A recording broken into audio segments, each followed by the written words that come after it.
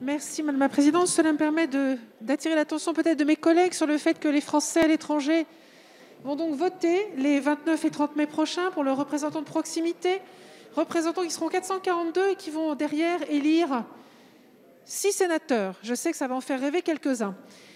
Je voudrais souligner ici ce que le gouvernement a fait, qui est une chose très importante. En effet, il y a des endroits, des pays dans lesquels le scrutin pourrait ne pas se tenir pour des conditions sanitaires qui sont profondément volatiles. Le Gouvernement a respecté l'avis du conseil scientifique rendu le 18 février dernier. Un atelier lors de l'Assemblée des Français à l'étranger, le 10 mars dernier, a expliqué qu'il faudrait en passer par la loi. Le véhicule législatif ne pouvait être que celui-ci. Et derrière, le ministère de l'Europe et des Affaires étrangères fait preuve d'agilité et de souplesse en se donnant jusqu'au dernier moment, le 21 mai, qui est le début de l'élection par Internet. Oui, à l'étranger, nous sommes très modernes, nous votons par Internet.